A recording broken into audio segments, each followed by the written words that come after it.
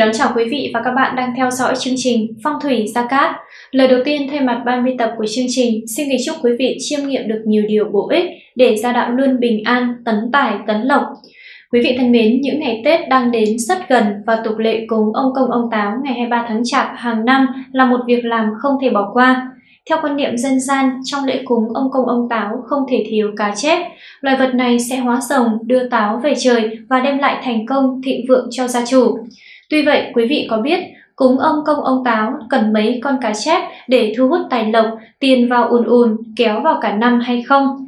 Chúng tôi sẽ chia sẻ trong video ngày hôm nay. Xin mời quý vị cùng theo dõi. Tại sao cúng ông công ông táo lại cần đến cá chép? Theo phong tục truyền thống, cứ đến 23 tháng chạp, các gia đình lại làm lễ cúng ông công ông táo lên trầu trời. Lễ vật có cả mâm cỗ mặn, hoa tươi, trái cây, rượu, thuốc, vàng mã, đặc biệt không thể thiếu được cá chép. Vậy tại sao lại cần đến cá chép trong lễ cúng này mà không phải bất cứ lễ cúng nào khác? Có thể thấy chỉ riêng lễ cúng ông công ông táo là gia chủ cần chuẩn bị cá chép mà thôi. Lý do cũng đơn giản, cá chép ở đây được coi là ngựa để các táo về châu trời. Theo quan niệm xưa, vạn vật đều có tính âm dương, trong đó cá chép mang tính âm đồng, nhất là tính âm của mặt trăng nên có thể bay lên được. Thêm nữa, trong dân gian lưu truyền nhiều câu chuyện về cá chép vượt vũ môn hay cá chép hóa rồng. Người ta cho rằng chỉ có cá chép là vật sống dưới nước nhưng lại có thể biến hóa thành rồng và bay về trời. Cá chép có thể hóa rồng tượng trưng cho sự thăng hoa, ý chí, tinh thần cuột cường cùng nhân cách thanh cao. Chính vì thế trong rất nhiều loài vật chỉ có riêng cá chép là được lựa chọn để làm ngựa cõng ông công ông táo về châu trời mà thôi. Lễ cúng ông công ông táo cần mấy con cá chép trong ngày lễ táo quân, cá chép là đồ lễ không thể thiếu. Với ý nghĩa cá chép vượt vũ môn hóa rồng, cá chép là phương tiện đưa các táo về trời. Có người cho rằng nên cúng nhiều cá chép, cũng có người lại nói chỉ cần một hay là một cặp cá chép là đủ. Vậy chính xác thì lễ cúng ông táo cần đến mấy con cá chép? Theo quan niệm dân gian, nếu gia chủ gia cảnh tốt thì nhiều cá chép là tốt, còn không thì ba con cá chép làm lễ cúng là đủ. Tuy nhiên, việc cúng nhiều cá chép quá mức chỉ mang ý nghĩa phóng sinh mà thôi, còn số cá lễ cúng thực sự chỉ cần là ba, không phải là một chục, một cặp hay một con. Có nhiều truyền thuyết về sự tích ông công ông táo. Ngoài tích chuyện kể về hai ông táo và một táo bà thì còn có nơi kể rằng ba vị táo quân ở đây là thổ công, thổ địa, thổ kỳ, chuyên cai quản hoạt động của gia chủ. Các vị táo quân này có sức mạnh rất lớn, có thể ngăn cản ma quỷ, đồng thời quyết định về độ may rủi, họa phúc của gia chủ. Người ta thờ cúng ông táo là mong rằng năm mới sẽ sung túc đủ đầy, thờ thần bếp cũng chính là thờ ông táo cai quản việc bếp núc. Ngày 23 tháng Chạp, người ta làm lễ cúng mời ông Thăng Thiên, còn tới ngày 30 sao thừa lại thỉnh các táo về cai quản căn bếp của mình. Cách chọn cá chép cúng ông công ông táo Cá chép dùng trong ngày lễ táo quân thường được chọn là cá chép đỏ. Khi chọn cá, bạn nên chú ý để chọn cá còn khỏe bằng cách chạm nhẹ tay vào mặt nước. Nếu thấy cá bơi nhanh, quẫy mạnh, tức là con cá còn khỏe. Cá mua về nhà nên cho ngay vào dụng cụ đựng nước lớn, đủ để thả cá vào đó. Chiều tới khi làm lễ xong xuôi, người ta mới mang cá đi thả. Nhiều người cho rằng việc mua và thả cá chép sống ngoài yếu tố tâm linh làm ngựa cho các táo quân mà còn thể hiện tinh thần yêu thương sự sống. Phóng sinh cá chép thể hiện ý nghĩa văn hóa, đồng thời thể hiện lòng nhân đạo của người Việt Nam. Phóng sinh một lần phúc báo đời đời, nghiệp lành khai nở. Sau khi làm lễ xong, gia chủ cố gắng mang cả bát đựng cá ra nơi định thả, tránh dùng tay vớt qua vớt lại dễ khiến cá bị mệt. Cách thả cá cũng cần phải lưu tâm, cẩn thận, kẻo cá phóng sinh không đúng cách mà tạo thêm nghiệp. Gia chủ nên xuống gần nước, nghiêng nhẹ miệng vật dụng đựng cá để cá bình tĩnh mà bơi xa, chứ nên đứng từ trên cao để thả cá. Cá thả từ vị trí cao quá dễ khiến cá bị choáng, bị chết, mất đi cái đẹp cho lễ phóng sinh mà còn làm xấu đi phong tục đẹp ban đầu nữa. Quý vị thân mến, lễ cúng ông công ông táo về trời là một truyền thống lâu đời của dân tộc. Đối với ngày này, chúng ta không cần phải tổ chức quá cầu kỳ, nhưng vẫn cần phải trang trọng, chu đáo để thể hiện được tấm lòng của gia chủ đối với đấng thánh thần.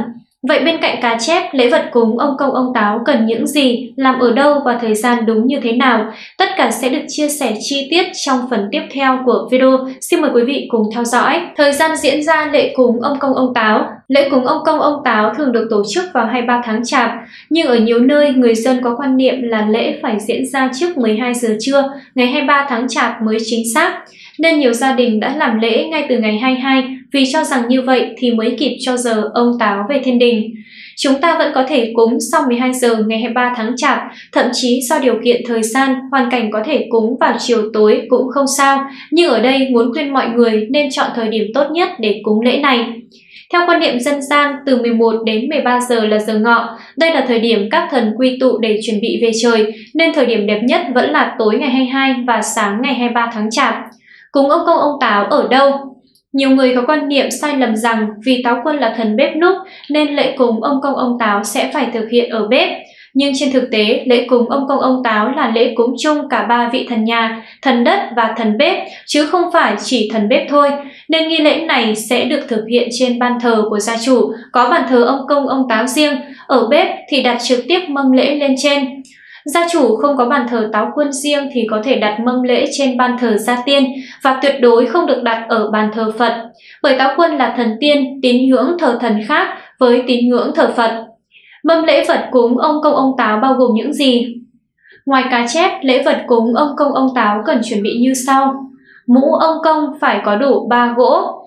Mũ ông công phải có đủ 3 gỗ hay 3 chiếc, hai mũ của đàn ông và một mũ của đàn bà. Mũ dành cho hai ông táo thì phải là kiểu mũ có hai cánh chuồn, mũ của táo bà thì sẽ không có cánh chuồn.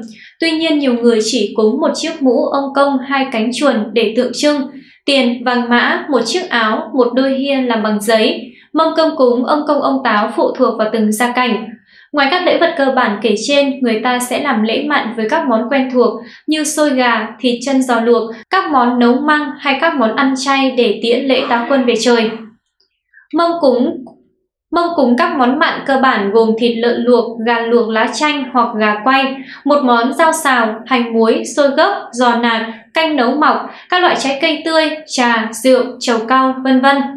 Ngày nay, mâm cỗ cúng ông công ông táo được đơn giản đi khá nhiều, không bắt buộc phải là đầy đủ tất cả các món như mâm cỗ truyền thống ngày xưa, mà chủ yếu phụ thuộc vào văn hóa của các vùng miền, hoàn cảnh, điều kiện tài chính, khẩu vị của mỗi gia đình. Gia đình nào không dư giả về vật chất thì chỉ cần là mâm cúng đơn giản, ba món là đã được rồi, quan trọng là lòng thành. Điều đặc biệt là mỗi miền còn có những mâm cúng ông công ông táo riêng, không cúng món làm từ thịt vịt, chim, ngỗng, trâu, dê, chó, không cúng món cá rán, đặc biệt là cá chép. Để thủ tục cúng ông công ông táo diễn ra suôn sẻ, mỗi gia đình không chỉ chú ý các lễ vật mà đến việc đọc văn khấn cũng cần chú ý. Theo các chuyên gia phong thủy, ông công ông táo về trời là để báo cáo những chuyện tốt xấu trong một năm của gia chủ với Ngọc Hoàng, nên việc khấn xin tài lộc phú quý, sung túc là không nên. Gia chủ chỉ nên xin táo quân bẩm báo những điều cát tường, bất lộ điều không hay. Quý vị và các bạn thân mến, như vậy qua video ngày hôm nay, chắc chắn quý vị cũng biết nên cúng lễ ông công ông táo như thế nào, chuẩn bị lễ vật ra sao cho đầy đủ, hợp phong thủy để thần linh phù hợp. Chuẩn bị lễ vật ra sao cho đầy đủ, hợp phong thủy để thần linh phù trợ bình an, may mắn. Nếu quý vị có bất kỳ thắc mắc hay ý kiến đóng góp, xin vui lòng bình luận bên dưới video để chúng tôi giải đáp trong các chương trình kỳ tới. Quý vị đừng quên like, share video và đăng ký kênh để tiếp tục đón xem những thông tin phong thủy tử vi. Xin chào và hẹn gặp lại trong những chương trình tiếp theo.